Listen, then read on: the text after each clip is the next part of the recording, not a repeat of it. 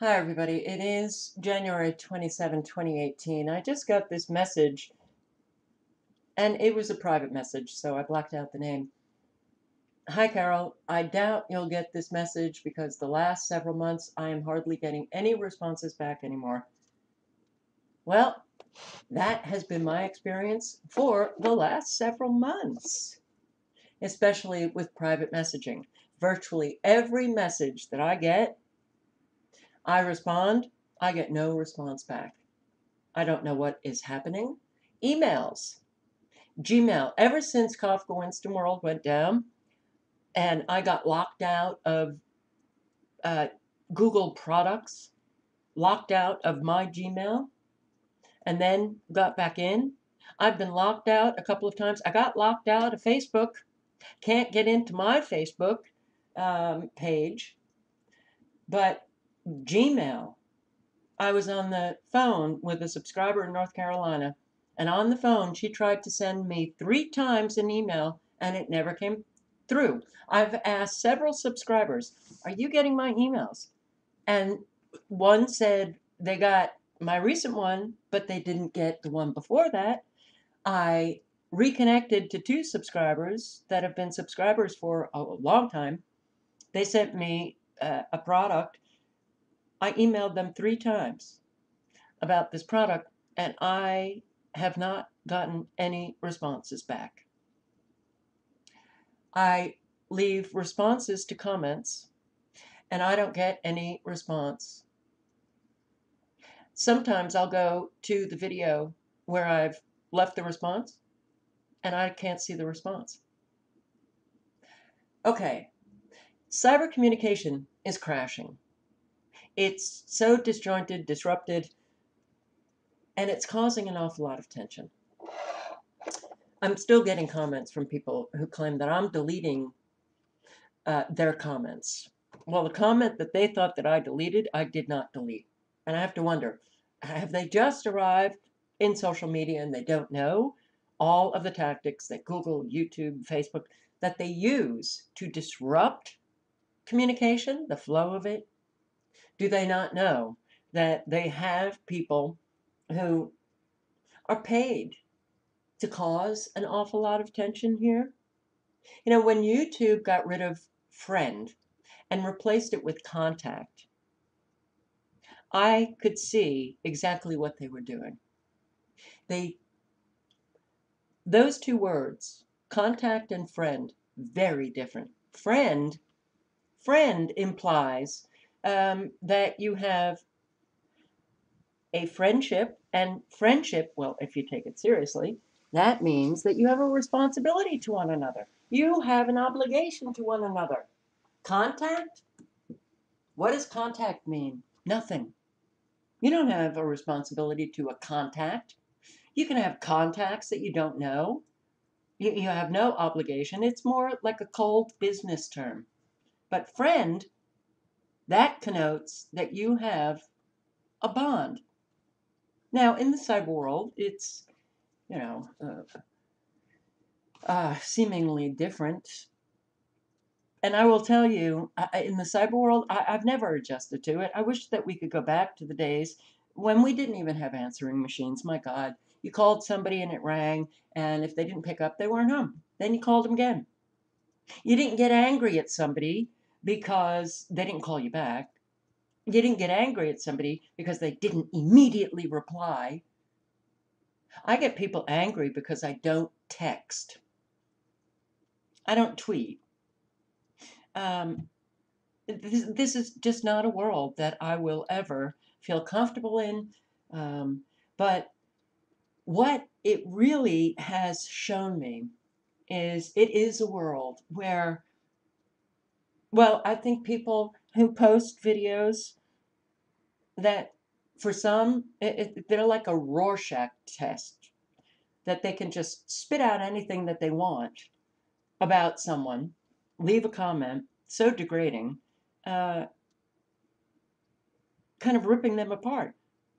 And but they'll actually write things about them personally, and they don't even know the person. They've made up all of these presumptions in their head. They've conjured up facts that they think are facts, and then they spit them out and hit send, and then they're right there publicly for all to see. People get influenced by it, and it's an utter lie. It's fascinating because when I read comments like that, like, um, oh God, I got comments from, uh, let me see if I can find them. Oh, this woman, yeah, this was about me. This woman has just outed herself as a Jesuit operative paid traitor. Satellites do not exist and cannot because space does not exist. She mentions God every now and then, but believes in space and satellites. She is a shill bought and paid for. Do any of you know her personally? No. Really? Well, there's a lot of subscribers that know me, um, and some actually know me in real life.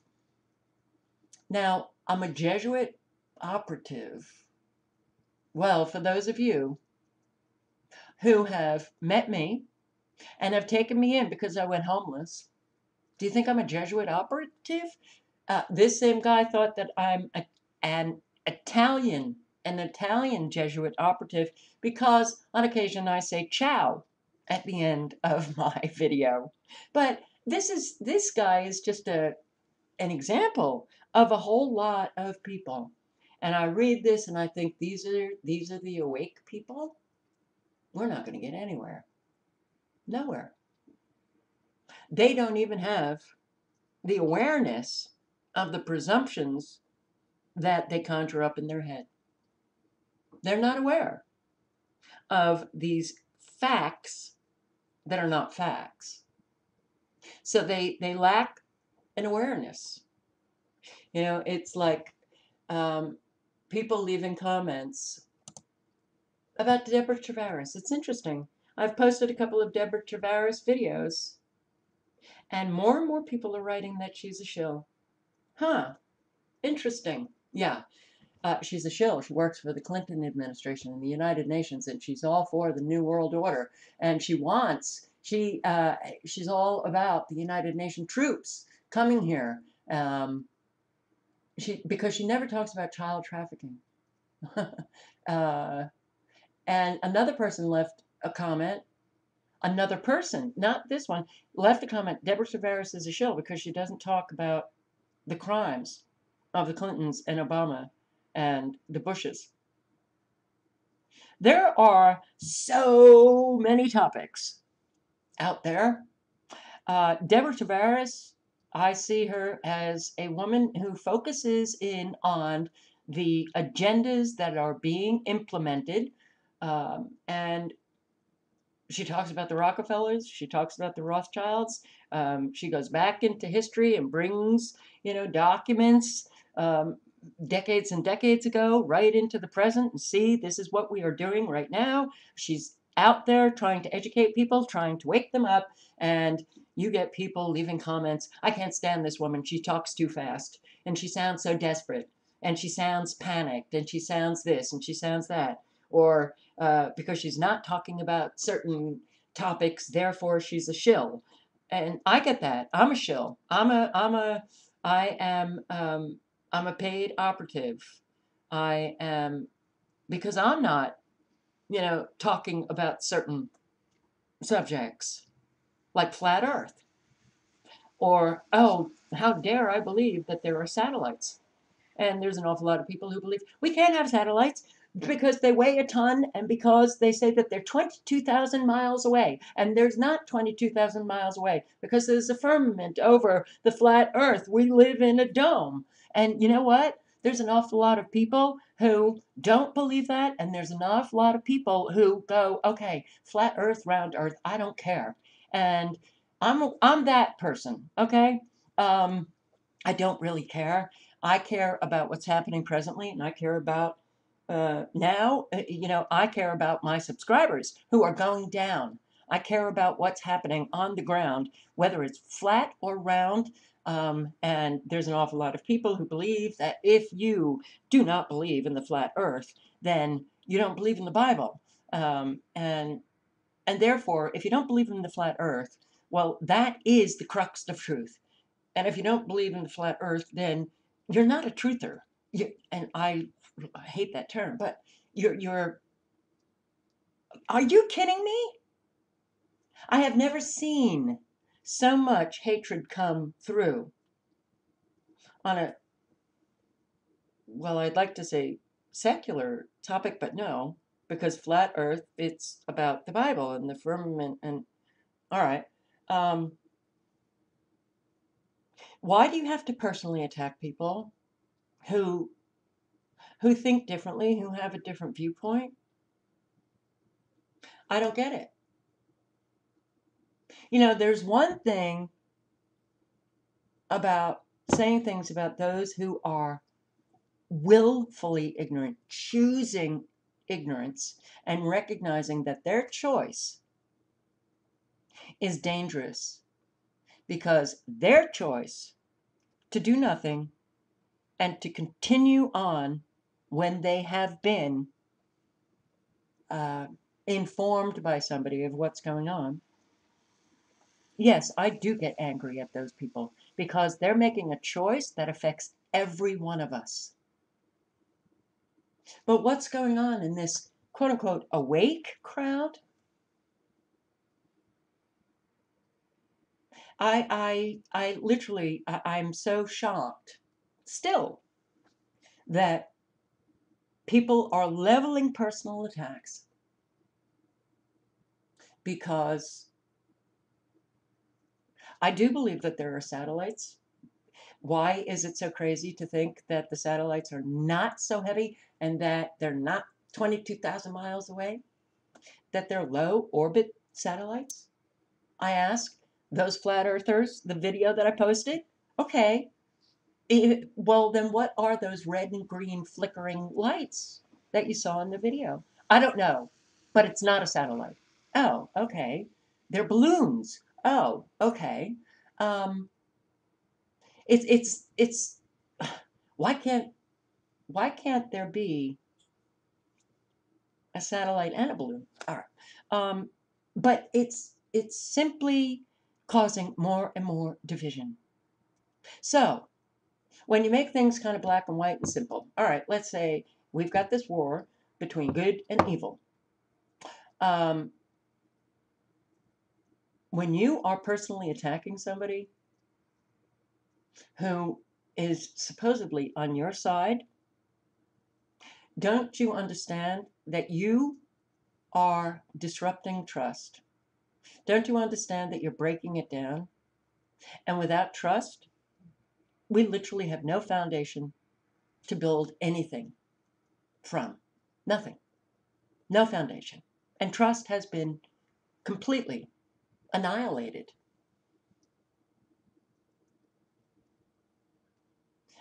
Um, Deborah Tavares is somebody that I really respect. I don't know her. I've never, I've never, you know, corresponded with her. I've never talked to her. But I see a woman who woke up and got very upset about what she saw. She dug her, you know, uh, mind into a tremendous amount of research. And I also see her as someone who is very concerned about her own family, that she is very connected to her family, and she's got grandchildren. And so she is out there trying her hardest to do everything she possibly can do to educate, to inform. And then you have people like this who just want to rip her to shreds. And then you go to these people's channels and they have nothing on it. And I have to wonder, you know, eh, are they jealous? Are they trying to tear somebody down because they do nothing? And that's what a lot of low level consciousness people do. On that low level, oh, they won't work to change themselves, to try to raise themselves up. No, they will pull people down. But when you do that, you are absolutely putting yourself on the side of evil. And it's all presumption. It's all presumption. I'm deleting comments. I have deleted comments, and I'm deleting more and more of these comments when people say that somebody is a shill without backing it up with any facts or evidence. You can have your opinion, fine. You can you can have your gut instinct about somebody, fine. But when you then write it down and hit send and it becomes public and you write it as a fact, that's not okay. Because it influences people. And then it it people have questions about somebody else's veracity based on your opinion. And that only breaks down trust further. If you have no facts and evidence, then keep your opinion to yourself about other people.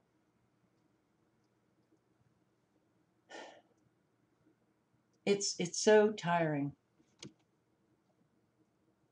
And this idea that people should be posting on certain subjects, and if they're not, therefore they're not legitimate because I'm not posting on flat earth and because I happen to believe that there are satellites up there, uh, I'm not legitimate. Wow. Okay.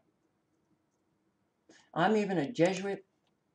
I'm a Jesuit, um, what was it? I'm a Jesuit operative paid trader because I happen to believe in satellites. I'm an Italian Jesuit agent, as I say, child. You know, I just recently got a message on my phone from someone that I, I was astounded. That's it. The, the relationship's dead because I can't go there. But because I'm not posting on Fukushima, when I've posted on Fukushima, um, and I talk a lot about the microwave radiation, and because I I'm not doing this and that, and forget it. I just and then when you really lay out, you're doing your best. You are sensitive to the frequencies. You've got health problems. You've lost everything. You've got nothing to work with. And then you get leveled by people who know that. What the hell is that about? So I have to wonder about the mentality here. No wonder why we're getting nowhere. If you think that Fukushima or you think that it's so important to be writing uh, or posting on Obama and Clinton crimes or child trafficking, then you do it. You're like control freaks.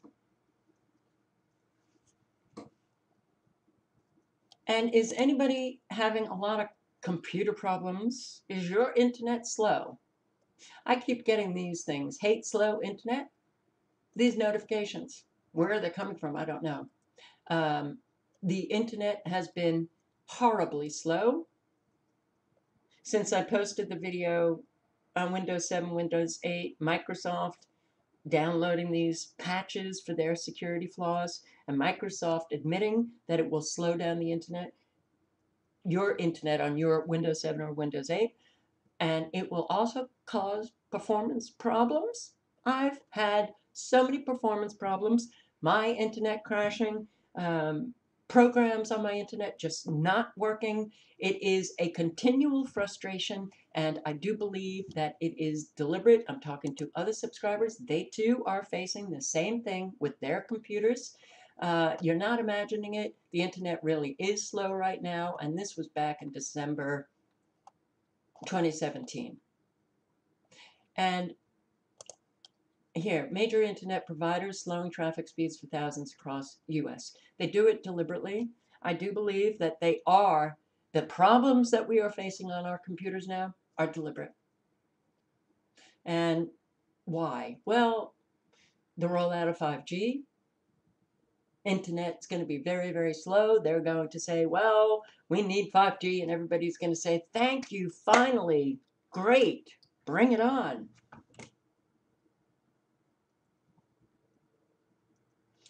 It's, you know, look, It is really very, very important for us to work towards establishing trust. And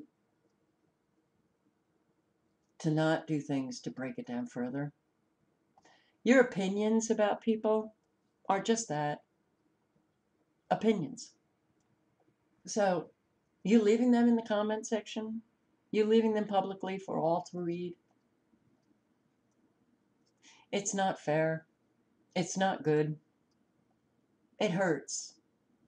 Trust. Here. You're leveling personal attacks against people based on a presumption.